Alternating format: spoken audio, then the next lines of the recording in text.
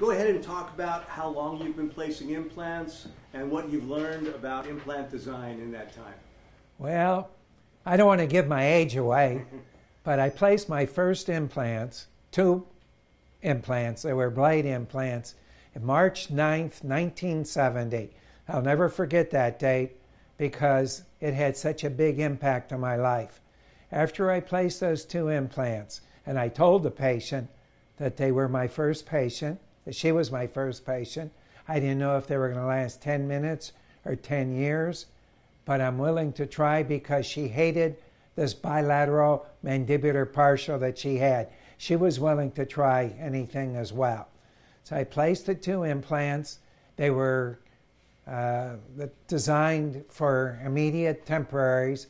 You had to prepare two abutment teeth, made a fixed temporary, and the patient went home with a teeth that didn't come out.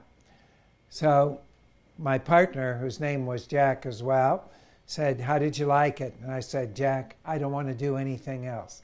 It was such a high for me to think that you took something that nature took away, however they did it, and you give a patient back comfort and function, something that nature did take away.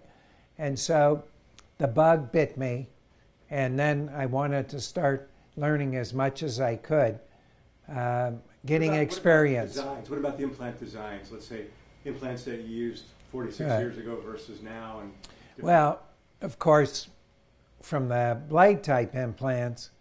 Then, when Brånemark first came to this country, we talked about these root form implants, which we didn't know much about. We didn't have much experience with them because in those days all we knew were blade type implants and subperiosteal implants. So this was something new. So then we started placing our first root form type implants, which weren't designed by Brånemark. Um, they were copies of different kinds, and we started with. I started with a finned um, tape, a, a, fin, a, a finned um, root form implant, and so we were pretty excited about that. replacing them, but what we saw about three, four years down the road. If the patient lost any crestal bone, then they started having the first top of the fins exposed. And then that increased periimplantitis. But we didn't know what it was called periimplantitis. It was just starting to cause gum problems and infection and what have you. So I'm thinking to myself, well, maybe an implant should be designed like the neck of a tooth that the neck of a tooth is kind of smooth and uh, round, but didn't have any grooves or fins, so that if you did lose bone, you had some safety that you could do an apical reposition flap and stop any problems before it got into the threads or fins. So then we started with my first venture was a root form, threaded root form, that was named and marketed by Denar, but it was called Steri-Oss. Denar was an articulator company involved in occlusion, and they thought that it would be a good marriage to be involved in implant dentistry because naturally you have to restore these implants, and they were in the restorative business. So we went along, and the first design had a four millimeter neck, a four millimeter collar, which was machined before it had threads. So therefore, that implant had to be fairly long. So the shortest implant was 12 millimeters to, and 16. There were no 10s, there were no 8s, nothing shorter because we had the 4 millimeter collar. So we followed those implants the engineer came up with a controlled protocol where every implant was charted as to where it was placed, the quality of bone, the color of the tissue, um, and then when it was uncovered, the, again the same evaluation any granulation tissue, any bone loss, and uh, mobility. And we went along with this for maybe two, three years. Then the engineer said there's a demand for shorter implants. We can't do shorter implants with four millimeter neck. We're not charge, we're not showing any markable bone loss with this four millimeter collar. We, if we shorten it by two, we can come to down to 10 millimeter implants. I said, fine, shorten it to, to two millimeter machine collar, and that's what we did for a number of years. So, for a number of years, we're placing the Steri-Oss threaded implants, and then uh, some people uh, were doing cylindrical press fit implants that were hydroxyapatite coated. So we figured, well, we'll try some of those, and we did some of those, but we couldn't get the primary stability that we like to have, especially if we're going to do an immediate restoration, a provisional restoration. So we kind of went away f- from those. Um, the success rates weren't as high as we had with the threaded because of uh, being able to uh, have this initial primary stability. So then going back to the threaded implants, parallel walled, two millimeter machine collar was good. The problem is then in my situation, since the implant bug bit me, I narrowed my practice down to just implant placements and implant prosthetics. That's all we did. Implants in the morning, prosthetics in the afternoon, and to this day, that's what I still do. So we look at cases, and if you get your implant classes on, the cases, some weeks, they're similar. So one day, I had four single implants, four different patients with a missing tooth or an immediate placement from the areas of 6 to uh, 11. So that's in the aesthetic zone, and you're dealing with the anatomy is the subnasal fossa. So we're using a parallel walled implant. Naturally, I want to use as long an implant as I can, and I don't want to penetrate the buccal bone, and I want to keep it away from the thin buccal plate. So, what am I find myself doing? I was tilting the implants out so I could bypass and not penetrate or perforate the subnasal fossa. So that one day, four different patients, four different implants, four different tilts. So now, when it comes time to restoring, I have to make a severely angled abutment to bring it in. So I kind of dream implants, and I'm, I'm uh, woke up one o'clock in the morning one night and uh, jumped out of bed. And my wife said, What's wrong? And I said, Nothing, nothing. I have to do something. So I ran in the kitchen, got some paper and pencil, and I'm thinking, if teeth that came out have tapered roots, why are we putting square pegs in tapered holes? So I drew the first tapered threaded implant. And uh, then I'm thinking, I got to come up with a name. So what do we do? We replace teeth. That's what we're doing. So I came up with the name replace. So um, I called, I, I felt very strong about this because if you look at the anatomy of the upper and lower jaw, the bone is not square. Bone, if you section it, we're looking at a series of triangles. In the upper, you have the subnasal fossa. In the lower anterior, you got the digastric fossa. You've got the buccal fossa. And in the posterior mandible, you got the submandibular fossa. So we're all dealing with constricted anatomical places. And the tapered implant allows you to place a longer implant with a wider prosthetic table which is probably the most important part uh, in anatomically constricted areas.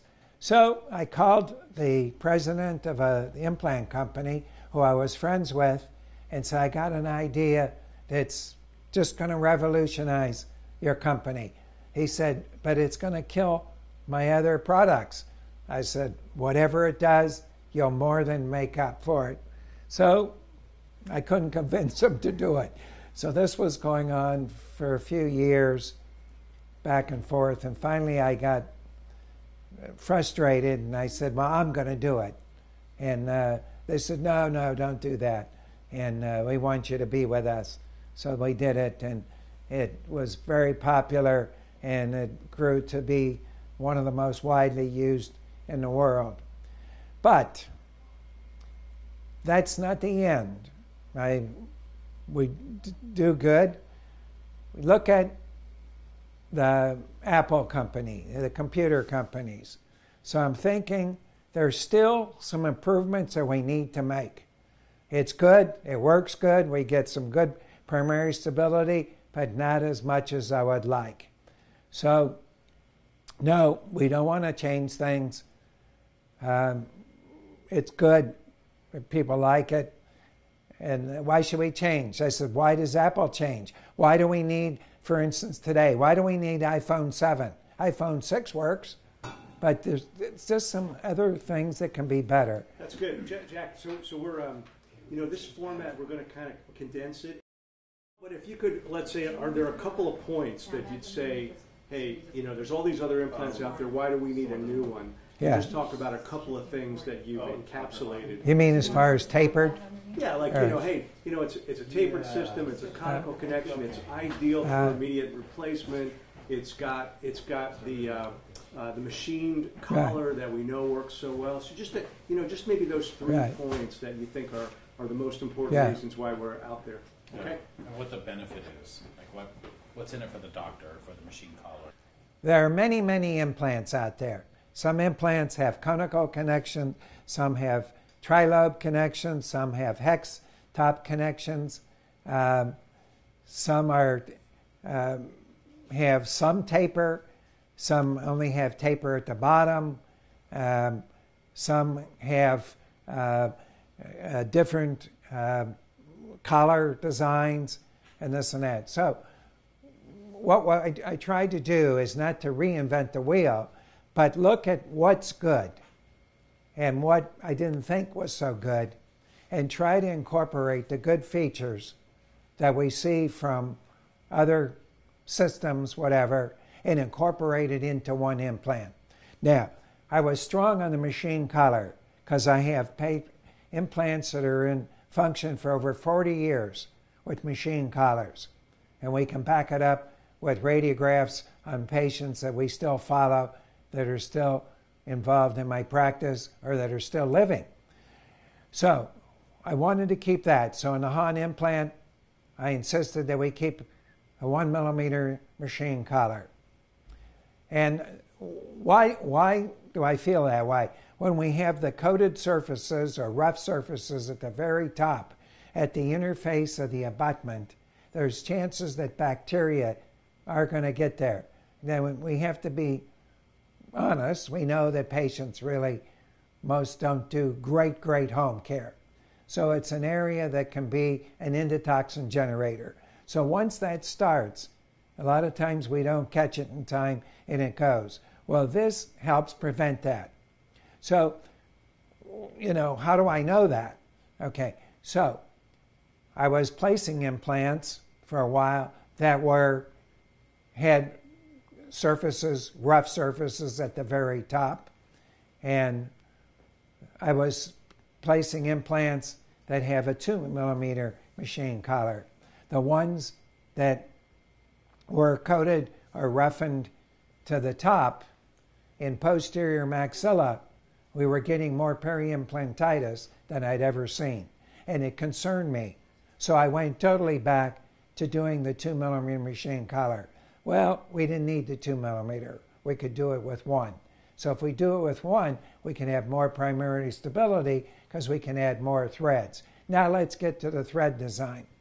Then I was doing um, tapered implant with not an aggressive thread design, and then I was doing a ta- somewhat tapered implant with a very aggressive thread design. So what we found, the one that didn't have as much thread aggressiveness, we didn't have as good primary stability, and I do a lot of immediate replacements. Uh, thank goodness for endodontic treated teeth with posts. I call it pre implant therapy. So, um, and I have a lecture, it's kind of my favorite thing to do, called the emergency implant, where a patient comes in with a broken, non restored endodontically treated tooth, where we can take it out. Well, with the, with the thread pattern, that's not as aggressive. When we go to place the implant, the palatal bone is more dense than the thin labial bone. And what happens is that uh, dense palatal bone wants to muscle the implant and push it to the buccal. We call it walking the implant. A lot of times you don't see it until it's too late. Then the patient comes in, we see some redness of the gum, and uh, we start seeing some labial bone loss, which is the typical sign of an avascular necrosis, where they're going to lose that bone until they get to the wider portion of the bone. And chances are that implant it does integrate and it creates a restorative problem. So I want an implant that had a thread design that was more aggressive. So when I placed it against the palatal bone, it engaged that bone and kept it from walking, and I could keep it against that palatal bone away at least one to two millimeters away from the thin labial plate. So, hence, that's the design that we see on the HOD implant. So far. Yeah, how many have you placed, and what's your experience so far? How many HODs? Okay, so I've placed over 600 and restored over 600 HOD implants. The response has been phenomenal. First of all, the soft tissue response has been great.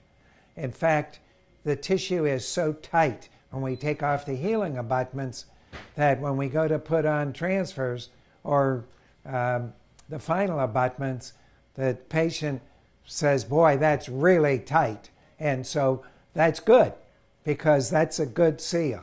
So we're happy with that. So we're happy with the tissue responses. The other thing is the primary stability even in poor quality bone, that we can achieve primary stability, that we can give the patient an immediate temporary. So the conical connection is very positive. That when we place our impression copings, that even though we take a radiograph every time we do that to make sure it's seated, very rarely is it not engaged. It's exactly where we put it. Now, I designed, I use closed tray. Now, I'm not saying it's better than open tray, but that's what I do. I'm not good with open tray. I'm better with closed tray because that's my many years of experience with. So I wanted to design an impression coping that had real deep, definitive grooves, both vertically and circular around some deep indentations, so that when we take the impression out, we take the transfer coping, put it in an analog. I do this myself so that when I put it in the impression, it snaps. You can hear the pop, that it's very positive. And Glidewell Laboratory can tell you of the many hundreds of cases that they've done for me.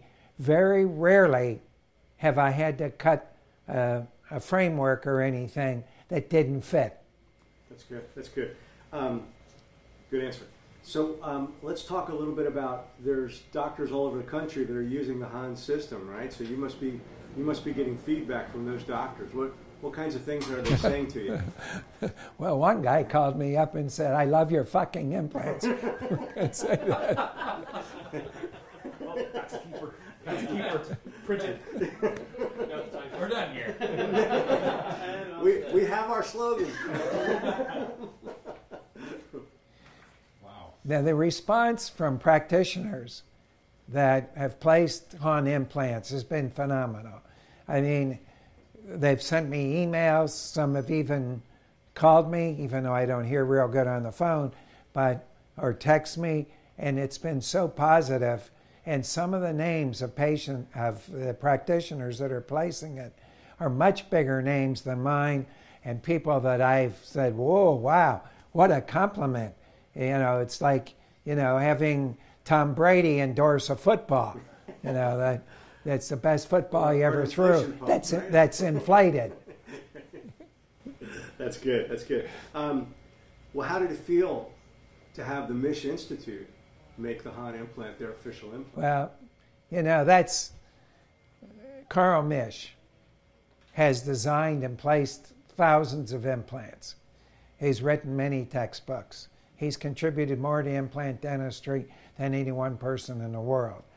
And to have him say he likes the implant and endorses the implant, I, I, I, there's, there's no words for me to say it's, it's better than the Good Housekeeping seal of approval. Um, it's like even better than getting final American Dental Association approval. I mean, that's that's it. That that's there's nothing there's nothing better. And when the people at Glidewell told me that Carl has endorsed the implant, I was like dancing around all day that way. Carl Misch likes the implant. The Misch implant likes the implant.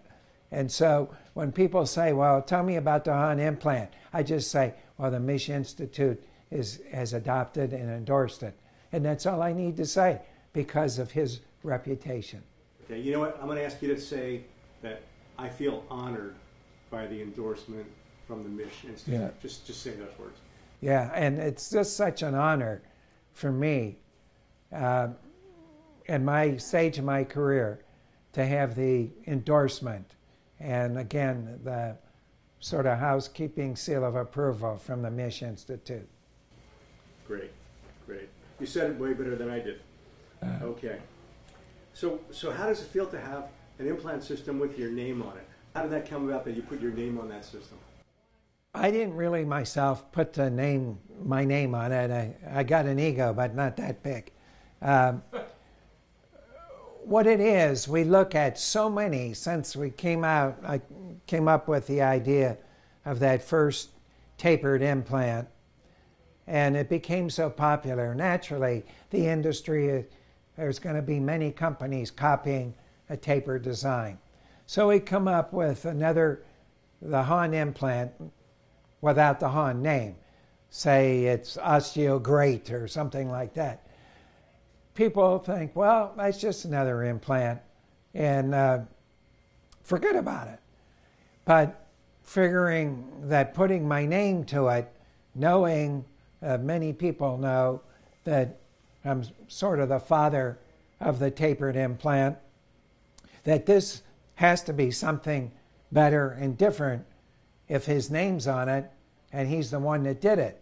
So that, that was the feeling of why calling it the Hahn implant. Very nice, very nice. So, what, what is the impact that you see of the Hahn system on dentistry? What I try to do is to simplify it. And, I, and my idea is I, I've always been a proponent of general dentists placing implants with proper training. And the Misch Institute is one of the best avenues for this proper training. But it belongs in the hands of general dentistry because the general dentist is the one that's going to also restore. So, you know, I wanted to make a, a system that was simple. I wanted to have a simple uh, protocol for the drilling, making the osteotomy with step by step of the tapered drills. We wanted to have some safety. We continued to keep improving. We just improved the kit. We put in 8 millimeter starter uh, drills or burrs, uh, one and a half, two millimeter, so that when you went in, you had safety. You can't go more than eight. And then take an x ray and check yourself, see where you are. Well, these are things to give the general dentist a kind of a warm, fuzzy feeling that we're dealing something that can be safe as well as really helping people. So, you think that the Hahn system will help more general dentists successfully start placing implants? Yes. Yeah, say something like Yeah. that. And so with the Hahn system, I wanted to have an implant and a kit, drilling kit, that is more user friendly for general dentists that may not have years and years of experience. And uh, we're going to continue to improve and, and, and as we see things. So I wanted to make healing abutments. Let's just take healing abutments. Things that frustrate me on a daily basis, I try to eliminate and say, well, how can we make it so it doesn't frustrate you? Let's take healing abutments. Healing abutments are parallel cylinders, right? So most of the time when you reflect the tissue, no matter how tall the healing abutment is, you're trying to hold the tissue down to keep it from coming over the healing abutment. It's like putting a 10 legged cat in a bag. So trying to hold it down, get the suture. So now I developed a healing abutment that's like an hourglass that comes like this that uh, you have a wider portion to support the tissue to create a good emergence profile, and then you have like an undercut to hold the tissue and stabilize it. And the tissues heal so beautifully. Now, that's just one thing. The impression copings, again, with the deep grooves and things like that, to ensure the accuracy of your impressions. And then, of course, I work with Glidewell Laboratory. They're the ones that manufacture the implants. They have the know how. They do more implant restorations than any laboratory in the world. So they've seen the good, bad, and the ugly. So, working with them, they also come up with some ideas, some things that we can even make it better. And again, they're dealing with general dentistry. I'm not going to say how many thousands of cases they get every day, but they get thousands of cases every day. So, again, now my forte has been teaching general dentists. I've been teaching general dentists for over 25 years. And I have so many that come up and say to me, You changed my life. Uh, I'm placing implants. Of course, they went on and took other courses, but they come to me, people at the AID meeting, people at the ICY meeting, people, prosthodontists, oral surgeons at the uh, Academy of Osseointegration meeting come up and say, You taught me my first implant. And so that's a great impact. If I can change uh, professional lives and if I can make it easier for more general dentists to place implants, then that's what I can contribute to the profession. And, and you know, getting back to beginning into the Hahn implant and why I associated with, with Glidewell, I was frustrated. The company that I was consulting with didn't want to take my ideas anymore and I felt that I still wanted to contribute to the profession. I still have a lot of years to go that I can do that. And uh, people like Glidewell, who I've worked with for many years in the past, but they were with uh, the company that I was previously with. Um, Dave Casper, Greg Nensemeyer, Neil Park, uh, some of the engineers, and uh, Grant Bellows, Bellows um, and so it was a, a, a, natural marriage, and it's been a great marriage. And I think we're going to continue to go on for many years and come up uh, the biggest con- contribution to dentistry. That's great, Jack. That's great. Say something maybe about uh, Jim Glidewell. The, uh, yeah, with Jim Glidewell. Now, the other person that I've gotten to know is basically the owner of this whole business, Jim Glidewell. And we've talked, we've had some meetings. He has the exact same vision. And he's done that with the company and laboratory, just with ceramics, with zirconium, uh, just with the machinery that manufactures uh, the CAD CAM machines. Uh, all of the things he continues to improve. Every time I visit Glidewell, I see new machines. I see that he doesn't skimp on expanding. I see new buildings. We go in. I see that he's added machines for Hahn implants. He went over with me how excited he was. He had the same excitement that I had when we were watching the implants being manufactured. So That's the kind of situation that we want somebody that's open minded. And the last time I was here a few weeks ago at the Misch Institute, he came up to me and he said, Jack, don't hold back. We will do anything you want to do. You just tell us. We will do it. And so, what, you know, what else can you ask for? That's like going to a restaurant and saying, you can have everything that's on the menu. Don't worry about it. So you don't have to make a choice.